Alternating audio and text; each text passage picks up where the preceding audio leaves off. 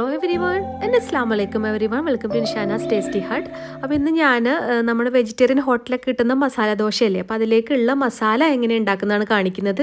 ശരിക്കും ഹോട്ടൽ രുചിയിൽ തന്നെയാണ് വളരെ പെട്ടെന്ന് ഉണ്ടാക്കാവുന്നതേ ഉള്ളൂ അല്ലപ്പോൾ ഉണ്ടാക്കി നോക്കിയിട്ട് അഭിപ്രായം തീർച്ചയായിട്ടും നിങ്ങൾ അറിയിക്കണം കേട്ടോ. എല്ലാവർക്കും ഇഷ്ടമാവും അപ്പോൾ ഇനി വീട്ടിലേക്ക് പോവാം.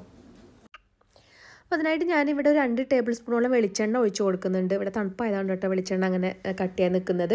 ഇനി ഇതിലേക്ക് ഞാൻ ഒരു ടീസ്പൂൺ ഉഴുന്ന് അതുപോലെ കടലപ്പരിപ്പില്ലേ നമ്മൾ പരിപ്പോടൊക്കെ ഉണ്ടാക്കുന്ന ആ പരിപ്പ് പിന്നെ കറിവേപ്പില ഇതും കൂടെയാണ്. വെളിച്ചെണ്ണയിൽ ഞാൻ ഇത്തിരി കടുക് പൊട്ടിച്ചതിന് ശേഷം ഈ മൂന്ന് ചേരുവകളും ഇട്ട് കൊടുക്കുകയാണ്.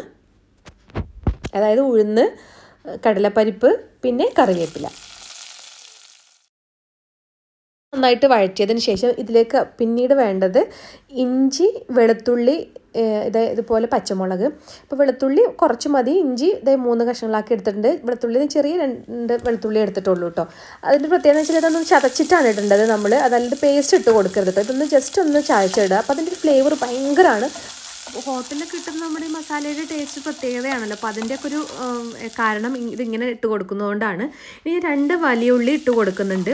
അപ്പോൾ അതിന്റെ ഒരു രീതി എന്ന് പറഞ്ഞാൽ നമ്മൾ നമ്മൾ രണ്ട് വലിയ ഉള്ളി എടുക്കുമ്പോൾ രണ്ട് കിഴങ്ങ് അങ്ങനെയാണ്. അപ്പോൾ നമ്മളെപ്പോഴും മസാല ഇല്ലെന്ന് വെച്ചാൽ ഒത്തിരി കിഴങ്ങ് എടുക്കുമ്പോൾ ഒരിക്കലും അങ്ങനെ ചെയ്യരുത്. രണ്ട് വലിയ വെള്ളിയുള്ളിക്ക് രണ്ട് കിഴങ്ങ്. അതായിരിക്കണം അതിന്റെ കണക്കിട്ടെങ്കിൽ മാത്രമേ പെർഫെക്റ്റ് ആയിട്ടുള്ള ഒരു റെസ്റ്റോറന്റ് സ്റ്റൈൽ വരുള്ളൂ. അപ്പോൾ ഈ സ്റ്റെപ്പുകൾ നിങ്ങൾ സ്കിപ്പ് ചെയ്യരുത്. ഇനി ഞാൻ ആവശ്യത്തിന് ഉപ്പും ഇത്തിരി മഞ്ഞൾപ്പൊടിയും കൂടി ഇട്ട് കൊടുത്ത് ഒന്നും കൂടെ ഒന്ന് വഴറ്റിയതിന് ശേഷം വെള്ളം ഒഴിച്ച് കൊടുക്കുകയാണ് കേട്ടോ. അപ്പോൾ ഒത്തിരി സമയം വഴറ്റേണ്ട നമ്മൾ ഓൾറെഡി ഇത്തിരി വഴറ്റി കഴിഞ്ഞതാണല്ലോ. അപ്പം ഈ വെള്ളം ഒഴിച്ച് കൊടുക്കുന്നത് തന്നെയാണ് അതിന്റെ വേറൊരു സ്റ്റെപ്പ് എന്ന് പറയുന്നത്. അപ്പോൾ നമ്മൾ വഴറ്റിയിട്ട് തന്നെ നേരിട്ട് ഇട്ട് കൊടുക്കരുത്. വെള്ളം ഒഴിച്ച് ഒന്ന് ഈ വെള്ളത്തിൽ കടന്നിട്ട് വേണം ഉള്ളി വേവാൻ വേണ്ടിയിട്ട്. ഇത് നോക്ക് കിഴങ്ങ് ഞാൻ ഓൾറെഡി മഞ്ഞളും ഇത്തിരി ഉപ്പും കൂടി ഇട്ടിട്ട് വേവിച്ച് വെച്ചിട്ടുണ്ടായിരുന്നു. ഇനി അത് നന്നായിട്ട് ഇതുപോലെ ഞാൻ ഉടച്ചെടുത്തിട്ടുണ്ട്. അപ്പോഴേക്കും ഉള്ളിയൊക്കെ വേവായി വന്നിട്ടുണ്ട് കേട്ടോ. അത് പാകത്തെ വേവായിട്ടുണ്ട്. ഇപ്പോഴെന്റെ മസാലയുടെ ആ മണമൊക്കെ വരുന്നുണ്ട് കേട്ടോ. കിഴങ്ങ് ഇടുന്നതിന്റെ മുമ്പ് തന്നെ.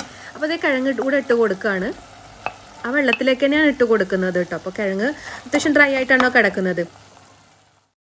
അപ്പോൾ കിഴങ്ങ് ഇട്ടതിന് ശേഷം നന്നായിട്ടൊന്ന് ഇതുപോലെ ഇളക്കി കൊടുത്ത് മിക്സാക്കി എടുക്കണം. അപ്പോൾ നമ്മൾ വെള്ളം ആ സമയത്ത് കുറവാന്ന് തോന്നുന്നത് ഇത്രയും കൂടി ഒഴിച്ചു കൊടുക്കാം. കാരണം ഇതൊന്ന് കട്ടിയായിട്ട് വരും. ഈ കിഴങ്ങതൊന്ന് വെള്ളമൊക്കെ ഒന്ന് അബ്സോർബ് ചെയ്യുമ്പോൾ പിന്നെ ഈ ഫ്ലേവറൊക്കെ ഇതിലേക്ക് വരാൻ വേണ്ടിയിട്ടും കൂടിയാണ്. അപ്പം ഞാൻ ഒരു രണ്ട് മിനിറ്റ് ഒന്നും കൂടെ ഒന്ന് മൂടി വെച്ച് വേവിച്ചെടുക്കണം.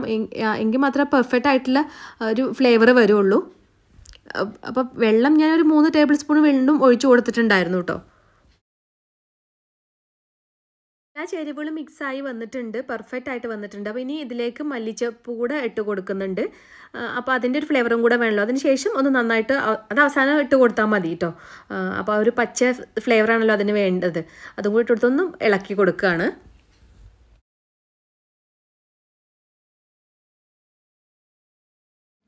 അപ്പോൾ ഇത് നമ്മൾ പെർഫെക്റ്റ് ആയിട്ടുള്ള വെജ് ഹോട്ടൽ സ്റ്റൈൽ മസാല ദോശയുടെ മസാല ഇവിടെ റെഡി ആയിട്ടുണ്ട് കേട്ടോ ഈ രണ്ട് മൂന്നാൽ സ്റ്റെപ്പ് മാത്രമേ ഒന്ന് ഫോളോ ചെയ്താൽ പെർഫെക്റ്റ് ആയിട്ടുള്ള മസാല നിങ്ങൾക്ക് ഉണ്ടാക്കിയെടുക്കാം. വെള്ള വളരെ ടേസ്റ്റിയാണ് ഇനി ദോശ ഉണ്ടാക്കുന്നത് കൂടെ ഞാൻ ഇതിനോട് കാണിക്കുന്നില്ല. ഇൻഷാല്ല വേറൊരു ദിവസം വേറൊരു സെപ്പറേറ്റ് വീഡിയോ ആയിട്ട് എടുക്കാം. അപ്പോൾ എല്ലാവർക്കും വീഡിയോ ഇഷ്ടമായിട്ടുണ്ടാകുമെന്ന് വിചാരിക്കുന്നു. അപ്പോൾ ഇനി പുതിയ വീഡിയോസ് ആയിട്ട് വീണ്ടും കാണാം. Once again it's me Nishana thank you thank you so much